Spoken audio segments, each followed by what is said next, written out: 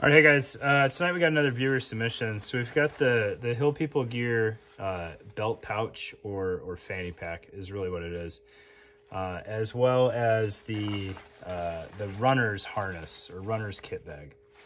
All right. I don't typically like doing more than one product in a video just because I I don't like watching through long videos to get to the product that I want, but they're so similar. Uh, we'll just we'll do them both in the same video and uh, cover the features on them.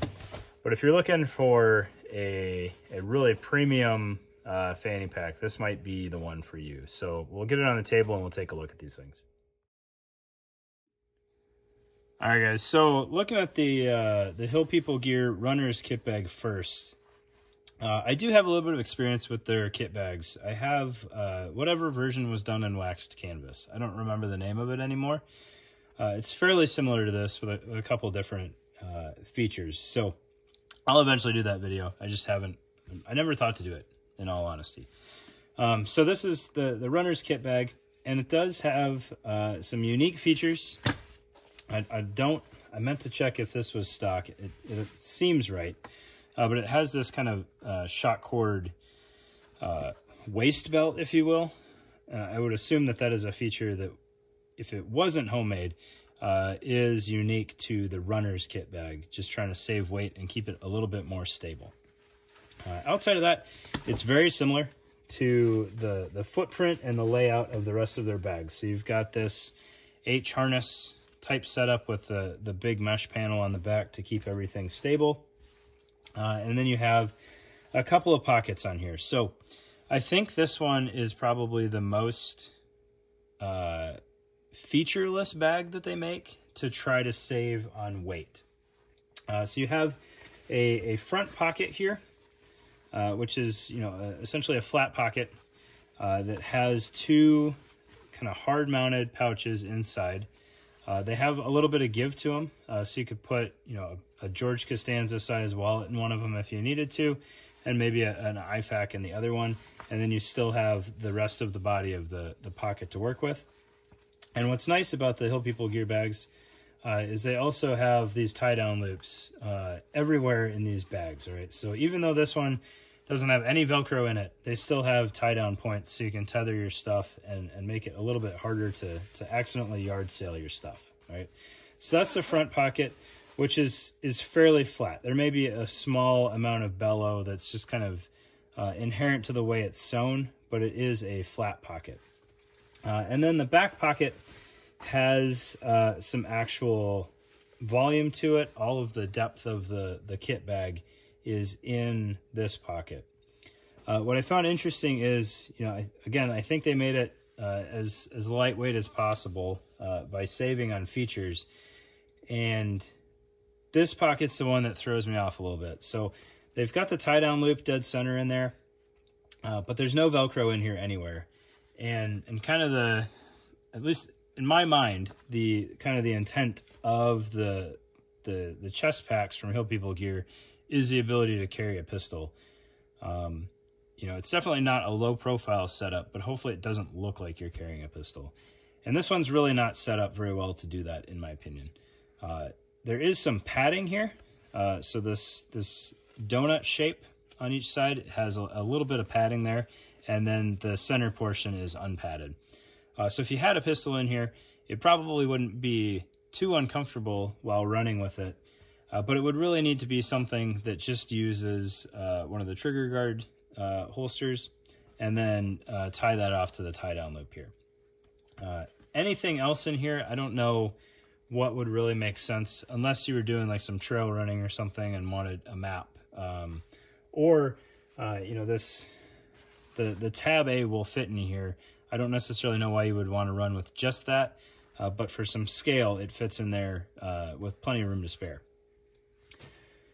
Uh, the kind of the the way they they make up for you know only being able to use the, the trigger guard thing is you can you can kind of stage the zipper wherever on here that you need to uh, and if you need to leave a gap so you can just you know hook a finger in there and tear it down uh, that works pretty well on on this one specifically because there's so little body to the the actual pocket. Uh, nothing gets in the way of the zipper, uh, and nothing fights you kind of ripping that open.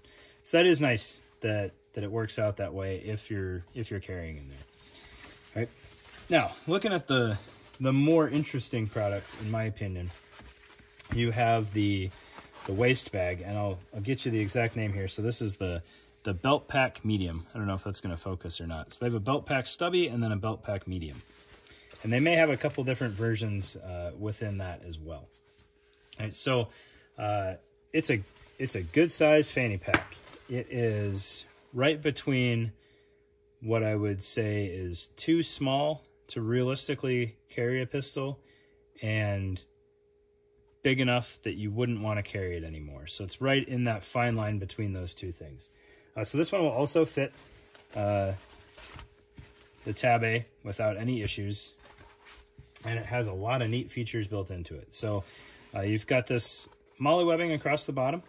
Uh, you have two uh, tie down loops, if you will, hanging off the bottom. So if you wanted to uh, do some, some shock cord origami, you could do that. You can you can tie things off to here, gloves and, and what have you, depending on, on how extreme you want to get with things hanging off the outside of your, your fanny pack. Uh, looking at the front face, you have a pocket that is essentially identical to the one on the runner's kit bag. So you've got a, a large flat pocket uh, with two interior uh, hard-mounted uh, pockets. No stretch, no Velcro or anything like that. Uh, and then you've got a tie-down loop uh, tucked off on each corner. Right? And that is kind of the extent of, of that front pocket. Then you have uh, two pockets behind it. So you have the bulk of the depth of the, the fanny pack on this front pocket here, which has another two uh, hard sewn pockets with tie down loops, and then kind of one of the one of the, the the better features that these Hill People gear bags have is is the first spear uh, Velcro laser cut MOLLE panel. Now it's not a very rigid panel. Uh, you can see that it's it's got much less body to it than than you would have on like a plate carrier or something like that. But it is fully functional, so you can you can mount Velcro mounted pouches and uh, PALs or MOLLE mounted pouches if that's something you want to do, which makes a lot of sense for like a pistol and a reload or a pistol and a small IFAK um, or anything up that that alley, right? Uh, if you you know wanted to use this as a uh, something to carry ammo, like you can fit three M4 mags in here pretty well, and uh, they are very close to being the appropriate height to to be fully concealed in there. But with the dual zipper, you know you can you can bring it all the way up to the corners here and just barely have the, the tops of your mags hanging out, if that's something that you want to do. If nothing else, they're good scale. Uh, so that's that, that kind of in-between pocket, and then we get to the back pocket. And this is the only pocket that I've got any real contention with. Uh, with the padding that's in here and the Cordura, it the zipper, at least on this one, is binding up just a little bit. It's not a showstopper, uh, and it, it could probably be fixed pretty well. Let's see if I can get this, this flap out of here. There we go. You know, it just, it binds up just a little bit. If you've ever had like a really overbuilt backpack, you know what I'm talking about. As zippers go around corners and they start to catch, you know, this the, the interior seam and then the, the kind of the storm flap there on the outside, it can bind up a little bit. Uh, but in this back pocket, it is set up almost exactly the same as the runner's kit bag, so you still have that padding, uh, but you additionally have this row of Velcro here, which makes it a little bit more conducive, in my opinion, to actually carrying a pistol back there. Uh, you still have a tie-down loop at the bottom, but if you wanted to try to get a real holster in there, I think the Velcro would start getting you down that path. Depending on how much retention you have on your holster, it might not be enough Velcro, uh, but you have the, the ability to, to do that, right? Uh, so that's the interior of the bag. Exterior of the bag, uh, you have the little wings coming off the sides, and then your waist belt ties into that. It does have the the the Velcro interior like you would have on a first spear vest or plate carrier. I don't necessarily know if there's an, any intended use there or if that's just the material that First Spear wanted to use when they made these. Uh, but it's there if you want to try to use it for something. I do like the little wings though. They just they help you know kind of keep everything a little bit more stable instead of having a two inch tie-in with you know a buckle or a one and a half inch tie-in in this case with a with a kind of loose fitting D-ring. You have a two and a half inch wing coming off that's going to help keep things from from tipping on you. And then you got a nice nice bit of adjustment in here, uh, and you know your webbing keeper, and then your your tri glide there, so you can take the slack out of your your waist belt and it will likely hold uh, due to the hardware that they're using. So that's the Hill People Gear uh, fanny pack and Hill People Gear uh, runners kit bag.